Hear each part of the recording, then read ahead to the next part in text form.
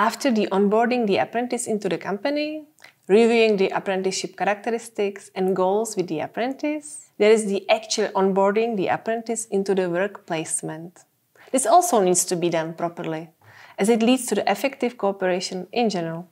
And mostly, it is essential for the apprentice to be considered as a part of the team. To assure this, as mentioned before, you as a mentor have to work with the staff even prior the apprenticeship begins to avoid the possible misunderstanding at the beginning of the apprenticeship. Make sure that everyone relevant in the company knows and understands the apprentice's role as much as possible. You are the one to explain the apprentice's roles and objective of the apprenticeship. If the onboarding is not done properly, the apprentice does not feel safe, perceives the possible distance, and maybe even non acceptance by you as a mentor or other people within the team. However, when done properly, and you are building an open relationship with apprentice, it greatly smooths further cooperation.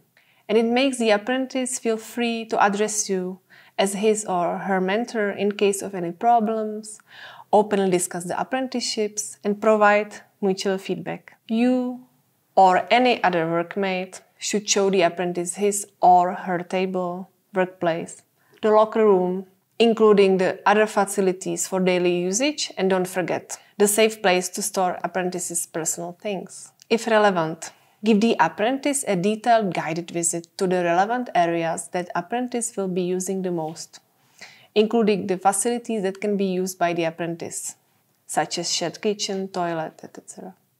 Indicate as well to the apprentice the equipment and tools of the workplace and the security points of the workplace and how to act in case of an accident, especially. Who to contact, which number to call, where to go. Arrange the meeting with other employees, especially with those with whom the apprentice will be in direct contact. Explain their roles in general and ways of cooperation during the apprenticeships, in particular from apprentices' team. Include even the customers, if relevant. This helps to overcome potential barriers in communication and allows to get to know each other better.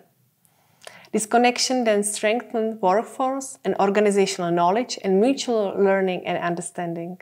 Once all of the above theory done, explain the apprentice how to carry out the design activities according to the training agreement on the relevant tools and equipment. Sit together with the apprentice and explain it on a practical task. Remember to monitor and assist the apprentice on the performance of the different activities on the relevant tools and equipment.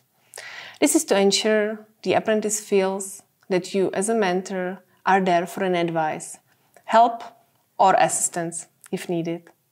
At the end, before diving into the details of the apprenticeships, check once more the apprentice understands how to carry out the design activities and can use the workplace and its equipment and tools independently.